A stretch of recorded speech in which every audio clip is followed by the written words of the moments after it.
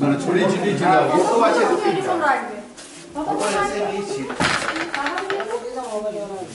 Video করেছে?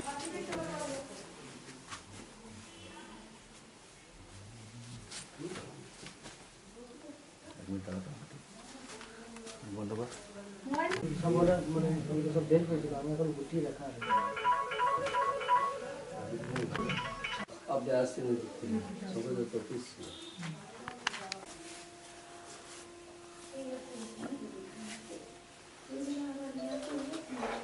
পাশ থেকে কেউ বলবেন না হ্যাঁ? কি ঘটনা ঘটেছিল বাবু? ঘটনা ঘটেছিল রাত দুটোর সময় আমি পেচ্ছাপ করতে বেরোনোর জন্য ওখানে দরজা খুলে বেরোলাম বারান্দায়। দেখছি একজন দাঁড়িয়ে আছে। হ্যাঁ আমি ওকে বলছি, এই, তুমি কোন হারে? রাত আমার গরমে মে কেসে করবা ওকে ধরেছি। তখন পিছন দিক থেকে আরেকটা লোক চলে এলো রুম থেকে। দুজন মিলে আমাকে বেডে নিয়ে গেল।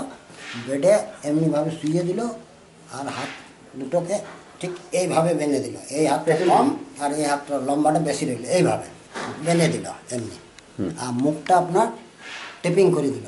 চোখটাও টেপিং করে দিল। যাবার সময় চোখটা খুলে দিয়ে গেল। মুখটা খোলেনি। ওদের কি মুখ খোলা ছিল? ওদের মুখ কভার ছিল মাফলার দিয়ে। কজন ছিল তখন দেখলেন আমার কাছে দুজন ছিল আর একটা ওই রুমেই ছিল।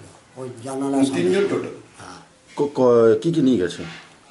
ওই অর্নামেন্টস গেছে দেড় থেকে দু ভরির মতো আর নগদ ক্যাশ গেছে চল্লিশ